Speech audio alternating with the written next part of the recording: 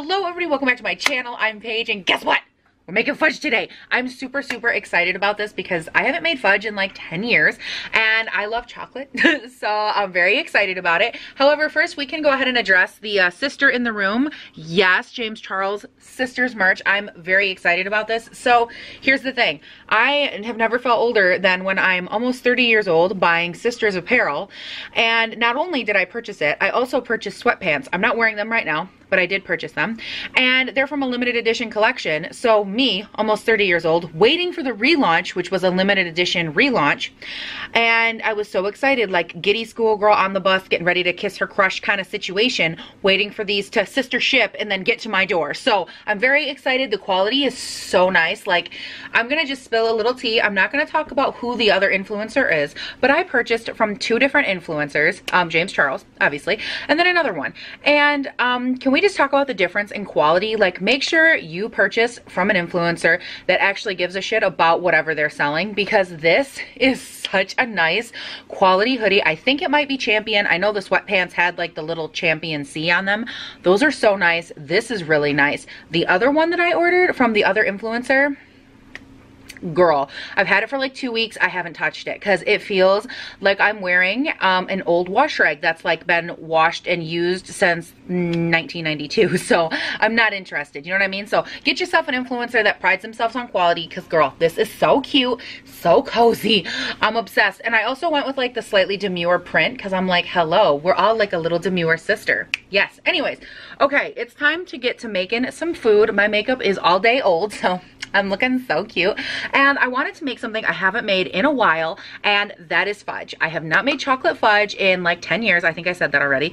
And I'm just really excited to get into this. Now, I was sitting here and I know the one thing whenever you make fudge especially is that it's like a really quick, like you have to have everything ready to go. It takes like six minutes. Blah, blah, blah. It's supposed to be quick and easy, whatever. And I'm like, okay, I feel like I'm talking really fast, but I'm also really hyper. So I was just dancing up and down the hallway, like trying to burn off some steam don't think it helped. Anyways, um, I know the thing about fudge is you have to have things like ready to go. So here I am getting things ready to go, getting them situated, yada yada. And I realize I'm like, Paige, if you keep going, the fudge will be made before you turn the camera on. So I did take a pause. So far we have this parchment paper thing lined, ready to go with some butter. So that way there's no stickage up in this kitchen. Nuh-uh, honey boo boo child, no stickage. Then we also have some sugar measured out. I am actually using the Nestle recipe here.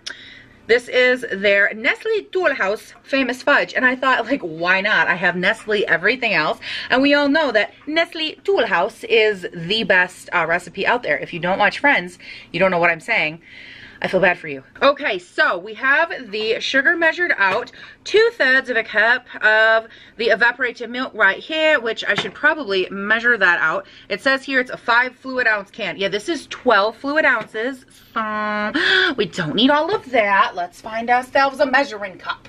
So I was also going to tell you guys a little story while I was doing all this. How much of this did I need? Uh, two thirds of a cup. Wow, I'm this whole measuring cup for this tiny little bit way down here.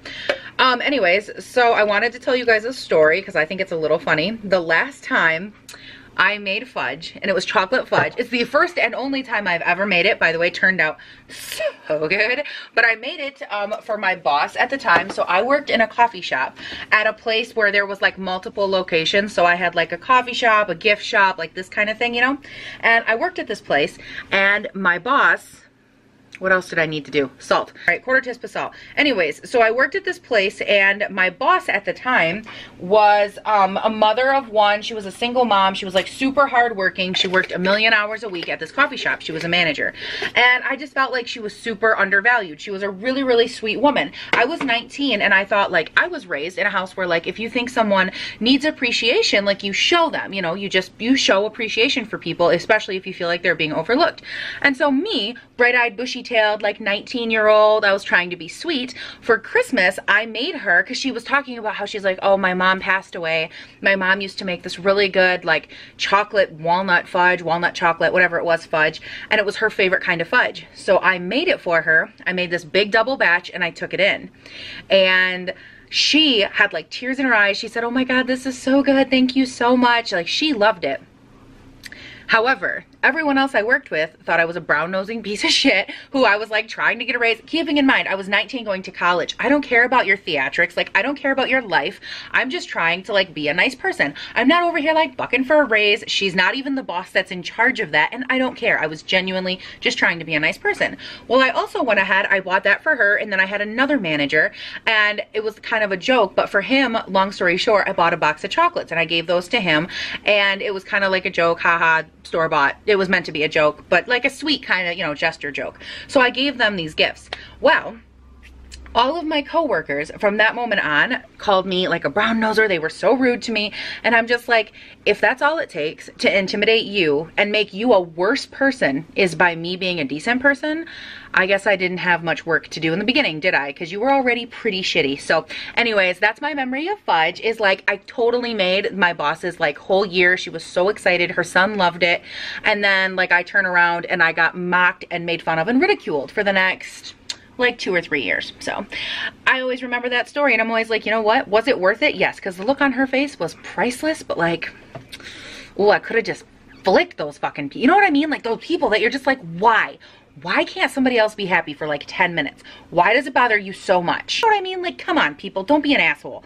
Don't be an asshole is the moral of my story. All right. So what's next here? Two tablespoons of butter or margarine. I'm sorry, margarine?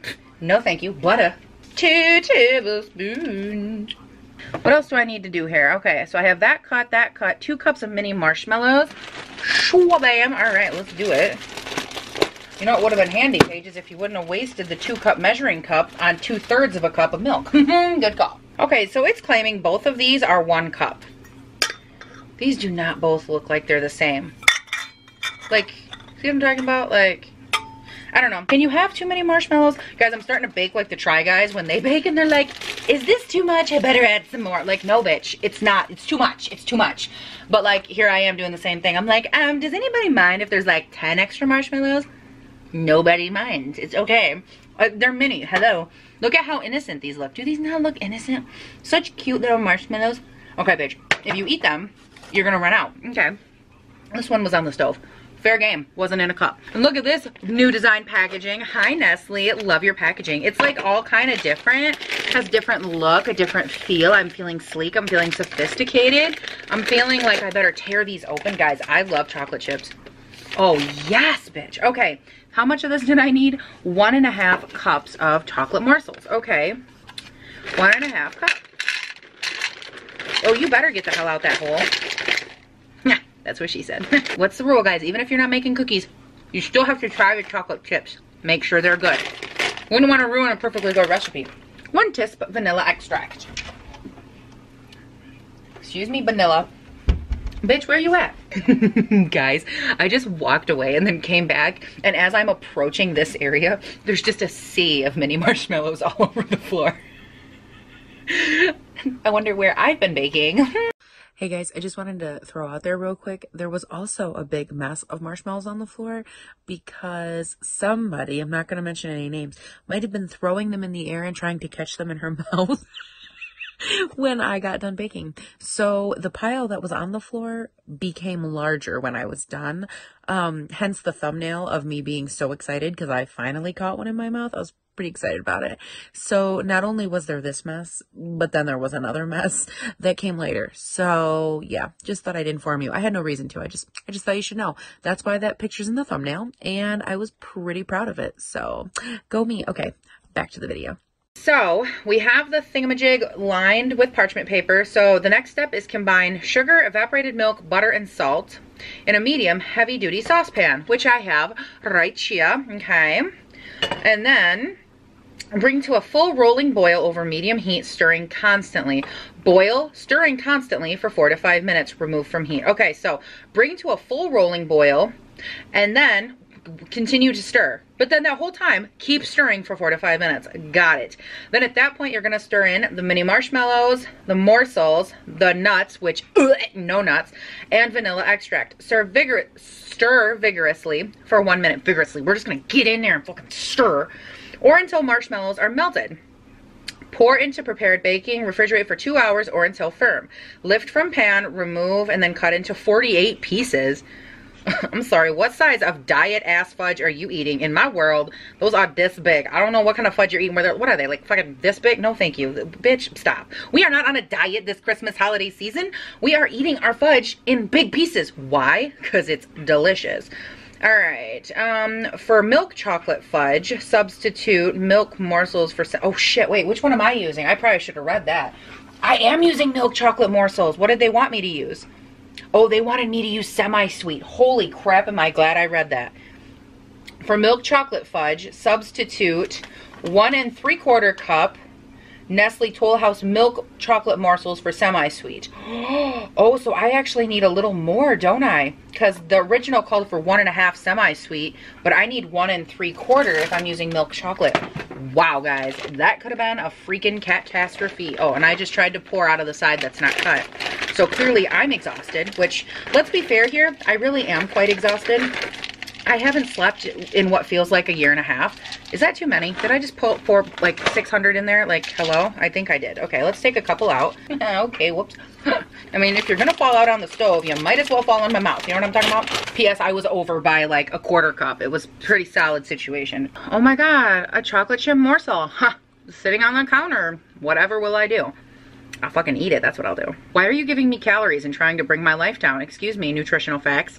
No. Evaporated milk. You guys, I love these rubber spatula things. I will do anything to use these. Like, I could be making anything. Mac and cheese, I'm using one of these like stir fry, I'm using one of these. Fudge, this, cookie, like it doesn't matter. I'm like, give me my rubber spatula and don't fuck with me. Like I want this, it's my life. All right, so didn't turn the actual burner on, so that's cool. So guys, what's new, what's happening? How's it going? I'm just stirring over here. I was gonna turn the angle of the pot down and just like let you guys watch me stir, but I'm like, boring. I could just talk to you. So hi. Um, I'm pretty excited. So today is Christmas Eve Eve, which is my parents' anniversary. So happy anniversary, mom and dad. I am 29, so they have been married for 27 years. They got married when I was two years old, and they are just the cutest little parents in the whole world. You guys know and love them, so that's exciting. And then that means tomorrow is Christmas Eve. So let's talk about Christmas Eve, shall we? P.S. Guys, okay, I don't know what the deal is, but why does Christmas time and like Christmas season and what's supposed to be, oh, I gotta stir. See what I'm talking about? I, I forget to stir. This is supposed to be the most magical, like, love me some Jesus time of year. And it brings out the biggest assholes I have ever met in my life. Um, excuse me, weather. Excuse me, sir. Do not talk to me. That was the weather channel telling me, like, guess what? It's gonna snow. No shit, bitch. It's winter. So, let's talk. I'm at the store assholes. I'm talking to the cashiers because, you know, the cashiers are humans. And guess what? They're like, everybody's been an asshole. I actually had one lady tell me, she said, thank you so much. You are the only person that's talked to me like I was a person today. I'm like, wait, what? Like, and I thought, I was like, oh, did you just get here? And I'm thinking like, okay, maybe, maybe she just had like a rough start. She goes, oh no, I've been here for nine hours and I still have a couple more. I'm on a double. And I was like, I'm sorry, wait back up you've been here nine hours and you've i'm the first person that's been nice to you i was like that's because people are dicks and i told her i said look i'm really sorry that the world has failed you and that everyone else is a piece of shit because i'm not that great of a person and if i'm the best that you get i will make it as joyful as i can for you so i was like witty and i tried to just like make her laugh and kind of you know I guess make her happy a little bit. But I was like so disheartened by that. I'm like, why? Why are people dicks? What is the point of that? Like, don't be that person. Also, I think the holiday season just brings out, I'm just gonna be honest, it brings out the worst drivers. What is going on? Why can nobody drive? It's like one fleck of snow, guess what? We're dumb. We don't know how to not drive 10 feet without hitting our brakes. I'm like, what is happening in my life right now? Like, you guys, being out on the roads like this time of year, it's rough. It's rough in these woods, man. I can't. And I'm in northern Michigan. Like I have what? A 20th of the traffic that like a Californian or whatever states, other states have lots of people. I don't know. Northern Michigan, we're very sheltered people. And like I don't I don't get out ever. So I don't know, but I'm assuming other places have a lot more traffic. So I can't imagine being one of those places that has a shit ton of traffic. That's disgusting. Dude, where's my Diet Coke at? I'm already getting thirsty. I've been stirring over this pot for like 10 minutes now. Mmm. Oh yeah, Diet Coke. That's my bitch, yo. So bring to a full rolling boil. Is this a full rolling boil? I'm gonna call this full rolling because it's got all the bubbles on the outside. So, okay. I'm marking the time in my head. Now, but it says four to five minutes. Why are you giving me such a fucking, why are you giving me such a large window? That's a minute. A minute is too large of a window. Okay, I'm, I'm starting to panic. Can you tell?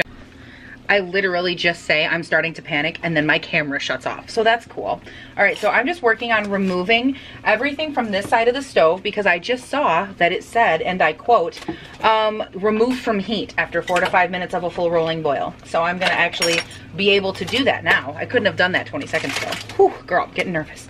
I get nervous. So one time, every time I bake in a pan like this, I get very apprehensive because when I was younger, I tried to make no-bake cookies and it was so bad that my mom had to soak the pan for like a month. And it was one of our really really good pans so she was like not about ready to throw that out. And it had to soak and rinse and scrub and soak and rinse and scrub and I'm not exaggerating, a month later, the pan was able to be cleaned. So anytime I make something that has the potential of ruining a pan, I'm like, oh shit. Like I get real nervous, but I think this is going well so far. I don't know what it's supposed to look like because I don't remember, but I'm just stirring it like it said and I'm trying not to panic, okay? So in an effort of this thing not, of me not panicking at this, let's talk about this um, Sisters Apparel for a second. So guys, you know, I try really hard to be like mature and all of that, but I was obnoxious obnoxiously excited about this hoodie and like the sweatpants that I ordered as well. But here's my thing. I had like a serious, I was ageist toward myself. I was like, girl, you're too old. Like you're going to be 30, going to be, you're going to be 30 years old. You don't need no Sisters Apparel hoodie, blah, blah, blah. And I felt so stupid because I wanted one so, so bad. And I really wanted this one with like the, the colored graphic right there. And so I felt kind of dumb and whatever. And my mom was like, Paige, you shouldn't feel dumb. Like you want it. Your age doesn't matter. Like why do you like him? And I said, well, I love his artistic ability. He's super, super, like the way that he views photos and, and the way that he handles himself as like a businessman. I just have so much respect for him in general, whether it's in the community, as a human, whatever the case is. I just love how he presents himself as a 19 year old. I feel like we're very similar in that. I've always been like more mature, I guess you could say, for my age. Clearly, I'm like 75 now.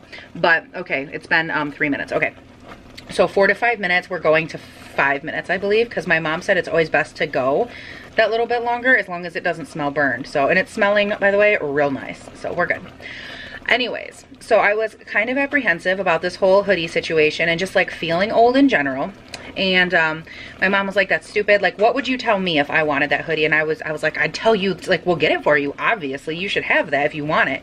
And she's like then it doesn't matter paige. Like age is literally a number and that has no bearing on the respect you have for him as as a creator and as an influencer or whatever. That just has no bearing. And i was like all right.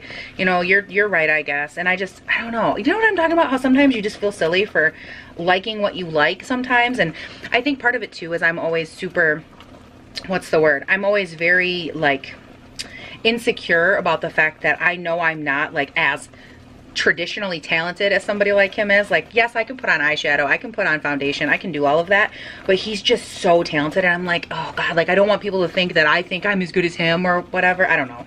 I just think I get wrapped up in my own head, I think is the moral of the story. So I had to like get over that before my hoodie got here. And then when it got here, I was like, ah! I totally geeked. I was so excited. Okay, so five minutes, we're killing the heat. And then it said remove from heat. Boop, we are removing, okay. Stir in marshmallow, morsels, nuts, and vanilla. So stir in marshmallows, one cup, and two cup. And then, no, what are these? Morsels. Oh my God, I couldn't think of what they were called. Morsels. Stir.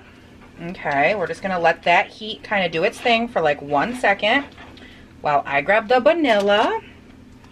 Now what's the general rule here? Vanilla is not a science, so if we add a little extra, it's okay, because your girl loves vanilla. I love vanilla. Anytime I'm baking with chocolate, I just feel like they complement the flavors so perfectly. Oh, and it smells, like I just spilled it on my hands. It smells amazing. Okay, what happens next? I should have I should have read this.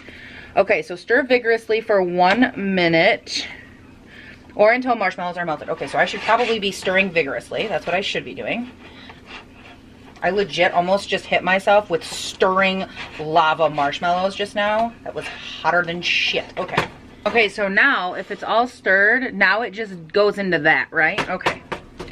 It's gonna be a little bit marbled with marshmallows, marshmallows, but I think that that's all right, right? I don't know. So we're just gonna plop this in here. This looks like fudge. All right, this could work. I could see this working out, like kind of like fudge. All right. All right, now we press it down. Press it down, make it round. Yes, bitch. Get in there. Yum. Mm-hmm. A little bit of what's on here. Okay. Maybe if we could have a piece though that doesn't burn my finger, that would be great, Paige. That would be so delicious. Okay.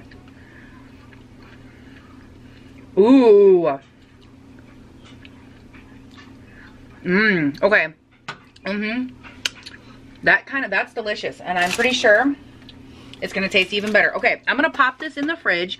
It said for two hours or until firm. I'm to pop this in the fridge. And, oh, you guys might want to see what it looks like. Hello, Fudge. How you doing, girlfriend? okay, guys, I'm really tired. I'm to pop this in the fridge, and uh, we're to stop back on together, and we're to have a bite. As soon as uh, girl, she's hardened and ready to go. Oh, hi, guys. So, cut into the fudge. Pretty freaking good. Really good consistency. Never have I had milk chocolate fudge before, but this is delicious. And I don't think you can see it, but it has like that perfect, okay, get my face out of there. Focus on the fudge, hello. There you go. It has like the perfect, like almost crumbly looking fudge appeal. I broke that piece off. That's why it looks all like jagged, but it has like the perfect texture to it. So it doesn't feel super gritty in your mouth but it's also not so gooey that when you're trying to like pick it up it like dents. You know what i'm talking about? How sometimes my mom and i were talking about this. Sometimes when you make fudge it's either really grainy and it's like overly processed or it's like under processed and it's gooey to where when you pick it up it like indents and it's more like a caramel than it is like fudge. This is the perfect in-between spot and I actually quite like it. I was, I didn't think I would like a milk chocolate fudge because I thought it would be too like potent, which this definitely is on the like very rich side. But I have to be honest, a pretty good. Like pretty, pretty good. I think I might try my hand at another fudge here very soon. I'll let you guys know how it goes. Oh, by the way, I will have the recipe for this one linked down below. Um, just in case y'all want to try it.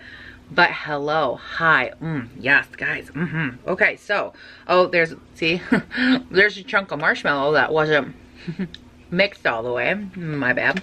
So guys, this is, this is my knife. I'm going to cut that chunk out and eat it because it's marshmallow. And you guys, that is it for today's video. I know it's super random, but I hope you guys all have such a fantastic Merry Christmas. I'm not sure if there will be a video up tomorrow or not, just because um, life. But if there is, I will see you tomorrow. And if not, I will see you the day after Christmas. And either way, I hope that you guys have a fantastic, fantabulous holiday. And I will see you very, very soon. Please don't forget, comment, like, and subscribe down below. We put up videos five days a week over here. They go up bright and early between 6 and 7 a.m. my time. And you can also check out my Instagram and my Twitter, which are linked down below. And I think that that's it me, this knife, and this fudge, we have a date. I'm gonna get to cutting and probably munching and then giving myself a stomach ache because like who doesn't do that when they make fudge? And I will check in with you guys on my next video. Bye.